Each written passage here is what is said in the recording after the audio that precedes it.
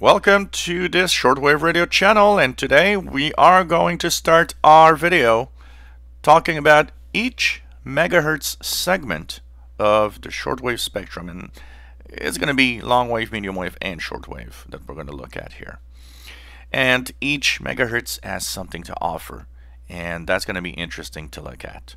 So we're going to start with the upper range of the shortwave spectrum. We're looking today on this video what's actually available, what can you listen to, from 29,000 to 30,000 kilohertz, or what is 29 to 30 megahertz. So, of course, not all receivers go there. Usually, receivers that go up to 30 megahertz are what we call uh, communications receivers because they are uh, full coverage or general coverage. So, um, what's in this portion 29 to 30 you might be listening and saying hey there's nothing or looking at this video and saying look you got nothing. Well that's the aspect of this very high frequency. 29 megahertz being high in the HF shortwave spectrum. It also means that the um, communications there are dependent very very dependent on solar activity and that for um, the most part, unless you got local communications on that frequency, most of the time when you're in the we are at the low end of the solar cycle right now, there's not a lot of things happening here. But there are some propagation characteristics that sometimes can light it up, like sporadic E-skip, for example. So what, what is there in that range? What can we listen to in that range? Well, the a big chunk of the 29 megahertz to 30 megahertz spectrum is the 10 meter band.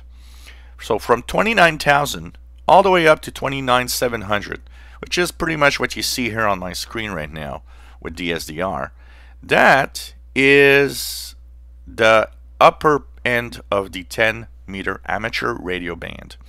But it's an interesting part for the 10 meter band because it has different modes.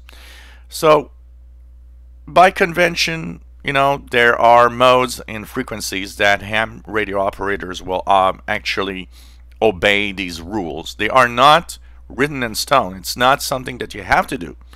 But most ham radio operators will respect that. So in that um, spirit, from 29,000 to 29,200, 250, 300 sometimes, it's the AM portion of the 10 meter band. So when conditions are right, and when I uh, was listening in and uh, when we had like, you know, we were at the top of solar activity, I could hear a lot of AMers, amateur radio operators that love to use AM mode for their transmissions. And typically a lot of them are probably in the first 100 uh, kilohertz so 29 to 29, 100, 29, 29, 150 is around the majority of the AMers that I've heard are there, but sometimes they can be uh, higher in frequency. So that is the first chunk where the 10 meter band lies. Now, um, above 29 300 roughly, it's the FM portion of the 10 meter band. Because yes, the 10 meter band and amateur radio does use FM in the shortwave spectrum, and it's mostly the 10 meter band that has actually uh, this used.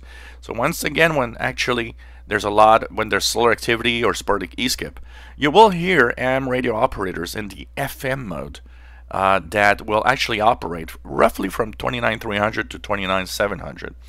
The first portion, 29.3 to 29.600 roughly, often are, or 29.3 to 29.500 are uh, simplex, meaning that it's communications that are, uh, you know, uh, two stations, a little, little bit like uh, the regular communications of uh, amateur radio.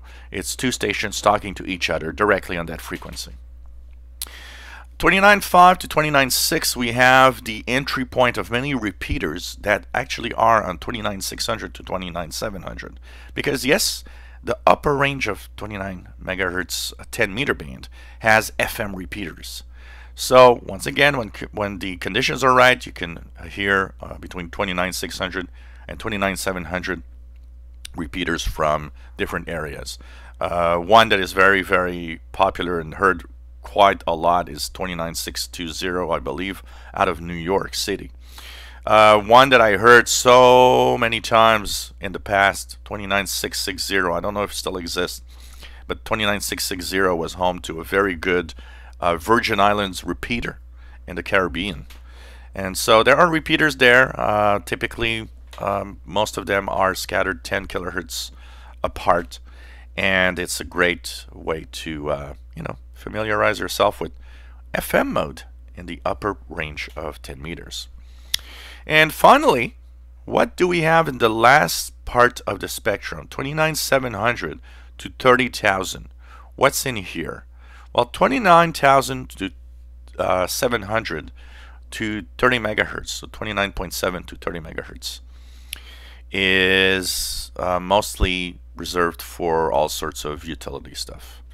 Um, over the years, I've seen some uh, military and utility uh, signals that were actually noted in some lists. So when you look at utilities lists, but honestly, I probably think that with low solar cycle uh, that we are in and all of that, a lot of that probably doesn't isn't active really much uh, lately.